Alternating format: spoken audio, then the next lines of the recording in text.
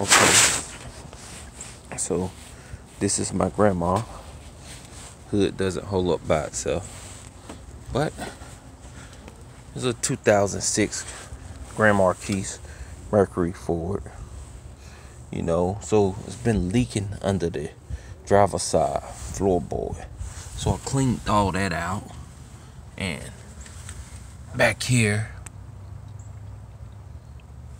right in there with it behind there under the cow where the uh, flap is at, you know, and on the other side over there by the other windshield wiper.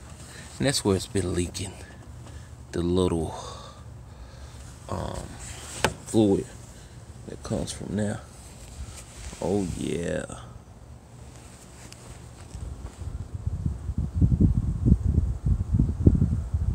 I have a major leak. I just filled it up and huh.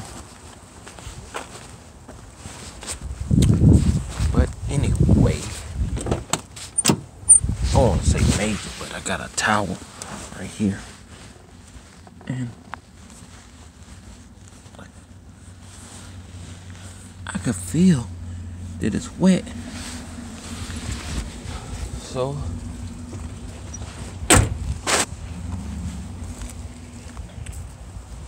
I'm gonna have to put this car in the shop.